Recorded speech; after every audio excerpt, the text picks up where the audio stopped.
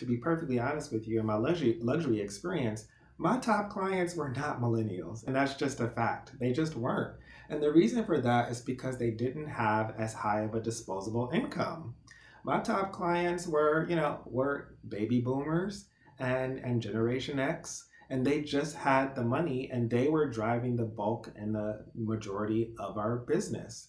And you know, when you really dig down into it, millennials, although certainly are a driving force in the country, for the most part, they are they are burdened with the fact that although they spend a significant amount of money on online shopping, they also have a significant amount of debt, college debt, because the experience of paying for their education is so much more higher now than it was 15, 20 years ago that they're also not necessarily spending money on even buying homes as much as, you know, Generation X and baby boomers were back then. So the disposable income, when you look at the facts, baby boomers have 12 times more disposable income than millennials and Generation X has six times more disposable income than millennials.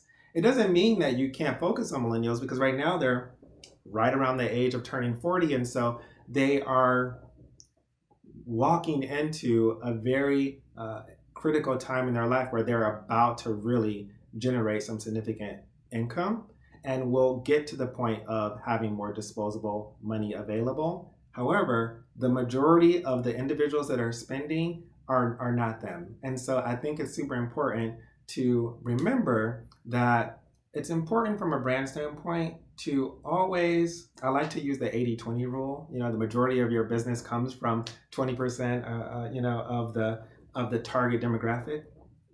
And in this case i like to say always that it's important to inspire the new customers but retain the existing ones and so whatever is driving your business you need to make sure that that's where your focus is on and then you always leave room to do some other things to inspire and to encourage and to attract new clients into your brand.